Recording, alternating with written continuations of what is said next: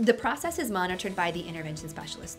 They are trained, that's their degree, that's their area of expertise. They write the IEP, um, and they are the ones who monitor the IEP. Progress monitoring needs to occur at the same time that all peers are receiving progress monitoring in the typical setting. So uh, traditionally, sometimes it's based off of the schools, and it could be six weeks or it could be nine weeks. But if there are midterms as well, then the uh, IEP team would need to send out a progress report at that point as well.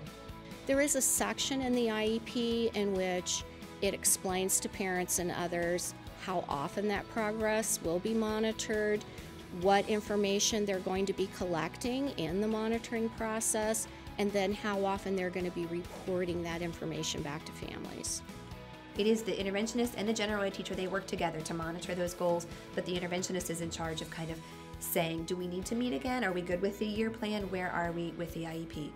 We start with very measurable baseline data in the present levels of performance, where the child's currently functioning, and then we have very measurable data in terms of writing that measurable annual goal we can then kind of measure in between the two things to see is the child making progress or are they not. The IEP is meant to be a living document. It's not something that we just file away. So if the team, uh, if a student is not showing sufficient progress and the team wants to reconvene, then an amendment can make can happen and a change can take place within the IEP. The IEP team has so much power Again, they've individualized this program of educational services to this child.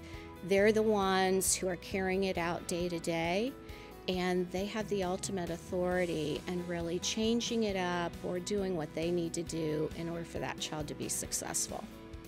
You're looking at how that child is functioning towards the measurable annual goal and then the objectives, which are the steps up to that goal. And so you're trying to get a clear picture of that child's level of functioning on the day that you're assessing. Being told that your child is struggling is very personal. I, I know that as a parent myself. So know that when you're told that, again, we want to offer a helping hand. Um, school districts are here to say, we see your child is struggling, how can we help? So as a parent, take that help. Work hand in hand with us. We're not working against you. We want to work with you to make sure your child's successful. And we're not just looking at them in first grade. We want to get them through graduation. Um, so whatever we need to put in place to help with that, that's our goal. Um, so work with your school district.